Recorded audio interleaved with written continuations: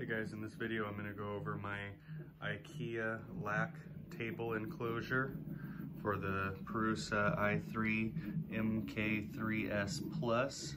I'm going to show you what it takes to get it set up like this.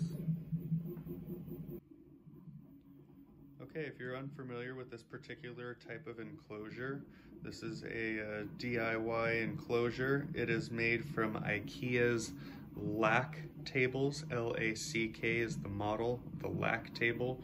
They're 22 by 22 inch table and uh, this particular style that I'm using has three of them.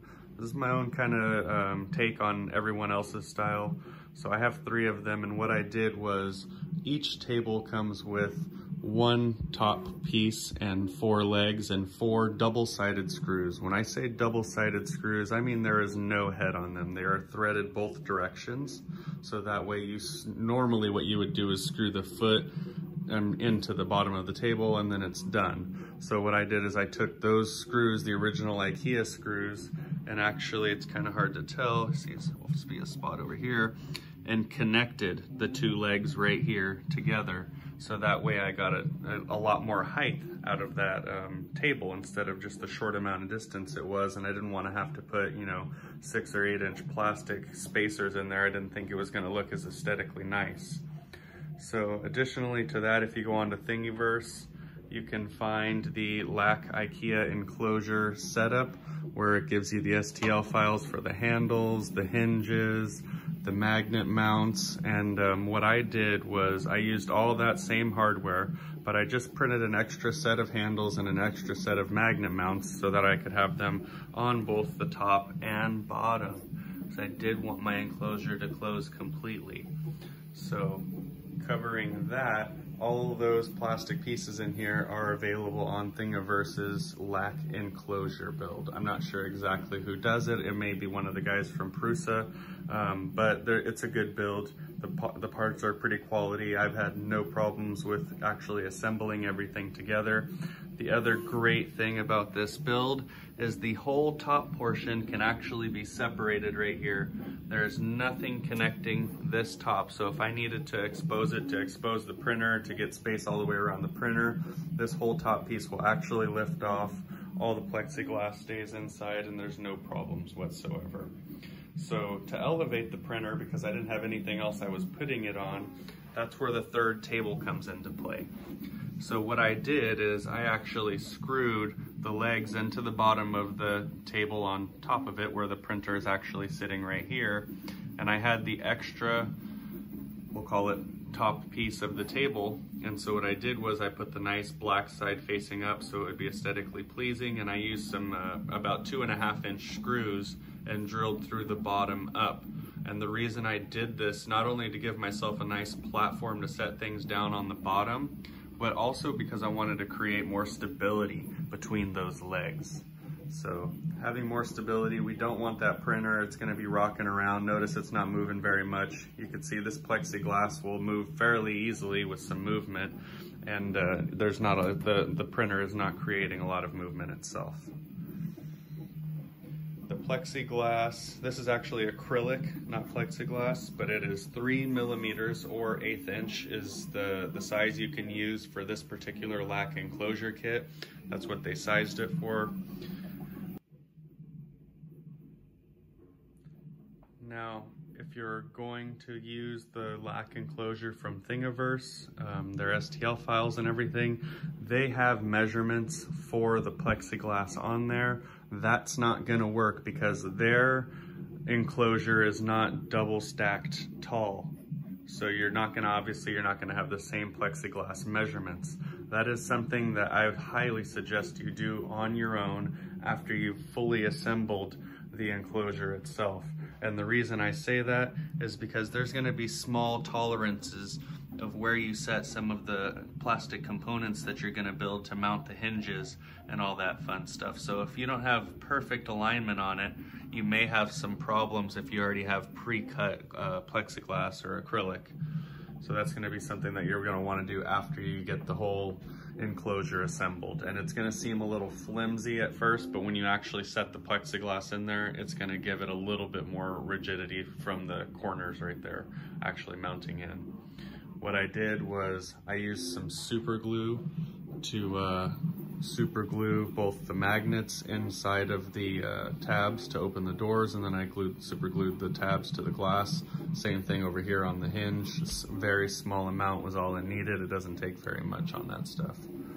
So, all right guys, I hope this uh, helps you and uh, gives you some ideas, maybe build something a little bit better. Oh, there's one more thing I actually built on here is uh, an additional plate holder down here.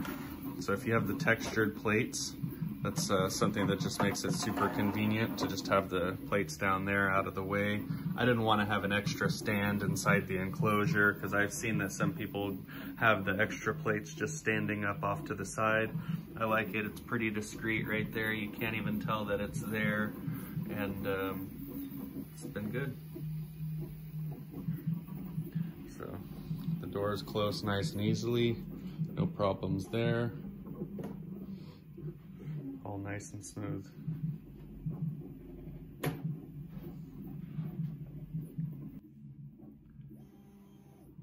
So currently I'm still using the factory filament holder from Prusa. I do plan on doing some sort of a relocation to the under the top portion of the enclosure so that way it's still enclosed and uh, I'm gonna have as many reels as I can on there because I do want to create some extra weight on the enclosure enclosure just to make it more stable itself. Having any kind of extra weight in there is really to help it. So if I can get you know three more spools up there on top of the two that are already sitting inside of there and have five spools sitting in there it's really going to make the difference on how heavy the enclosure itself is and weighing the, the, the printer down from creating movement that's going to cause the enclosure to move. Electrical. So right now for the power of the electrical, it actually makes its way. There is a hole cut out in one of the, um, we'll call them uh, mounting points for the LACK enclosure. So you can actually run your cable through there. And like I said before, if you wanted to pull the top of the enclosure off, you can do that and you don't have to worry about any cables hanging or dangling down. Um, the other thing is lights. Now, my lights are set up with my Alexa. She has uh, full control over them. They are red, blue, green, and white. I have them going over diagonal and from the center to the outside pillars in the front and uh, gives a reflection off the plexiglass right there, or the acrylic, sorry. And then I also have my controller back here, separate controller for it. Um, it has its own power supply going to it. The reason I did that is because I didn't want to run it off the printer itself. Prusa does have a spot where you can pull 24 volts off and do your supply for the, um, the LED lighting off of there. However, I'm actually in the process of moving right now, which is why this is all sitting in my living room. So as soon as I get moved, I'm gonna have a builder room. This is gonna go in the builder room and I wanna be able to have the lights on when the printer's not running as well because it's a nice printer and I spent some money on it and I wanna make sure I'm displaying it in the, the beautiful case that I just finished building. So that's the reason I did that. It's set up to Alexa. Alexa, printer lights red.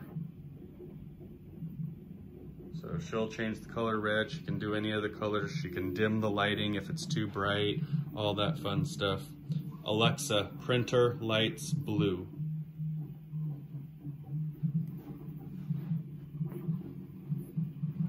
So there is other options out there besides just running the the LED lighting off of the top and uh, connecting it to the printer itself. So just uh, be considered or consider all the other options out there when you're doing your builds and uh, let me know if you guys have any cool little things that you've done with your enclosures or maybe things you've seen, some sort of tool holders. That's the next thing I think I'm gonna do is a, a couple little drawers maybe down under the bottom so that way I have some organization under there as well. All right, guys, hope you guys liked the video and uh, feel free to comment if you have any questions. If they're fairly relative to when the video's been posted, I'll be able to answer them with great detail right away. But if you comment in like four or five years, there's probably a good chance I'm not gonna have remembered all the details that went into this. So, all right, guys, enjoy, good luck.